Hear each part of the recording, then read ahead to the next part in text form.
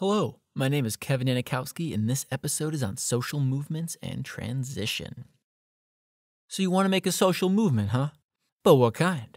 There's proactive, reactive, alternative, redemptive, reformative, revolutionary. It's like a tyranny of choice. With all these choices, as soon as you choose, you'll be regretting it later, thinking maybe sitting down during the national anthem wasn't the most professional way to make a social movement. Well, anyways, let's get to it. There's a lot out there. So, first, proactive social movements are probably what you had in mind. They want to promote change, thus, they're proactive. Whereas social movements trying to resist change, usually with all the old fogies, are reactive social movements, reacting to people trying to change values. The movements that we often think of as radical are split into both revolutionary and redemptive social movements.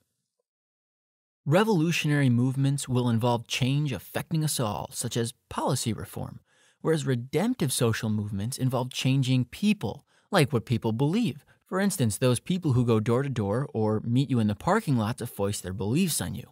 So, the radical movements involve both revolutionary and redemptive social movements, depending on whether you're trying to hit the masses or hit individuals. On the other hand, there are more minor movements with limited change called alternative and reformative social movements.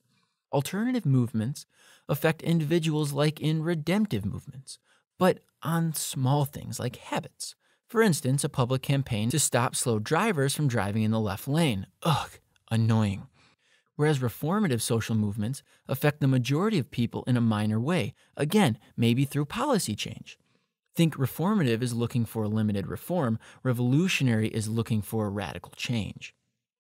There are way too many movements to choose from, so I've decided instead, let's all make a millenarian movement, like that of the UFO cult for Marian Keech in the Cognitive Defensive episodes, who said that the world was going to end because aliens were coming to destroy the planet.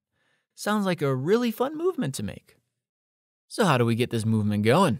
Well, first, aside from the millenarian movements, if you want to go and do that, be my guest. I'll make sure not to join you for your end of the world prophecy. As fun as it as fun as it really seemed like it was going to be, movements are often based on feelings of relative deprivation. That is, one feels entitled to something that they don't have.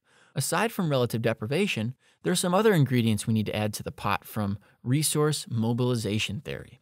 Basically, the resource mobilization theory says that movements are not just an irrational event, they depend on other resources such as money, ability to mobilize people, the time it has, etc. Our movement will then have to take these things into account as well. Now, the mobilization of your movement idea, let's say it's about the world going to end due to Bigfoot coming out of hiding. It's going to have to spread, right? Well, how exactly does it do that? The theory that seeks to understand this is diffusions of innovations idea. Diffusions of innovations theory argues that innovations use channels which transport their information over a certain time.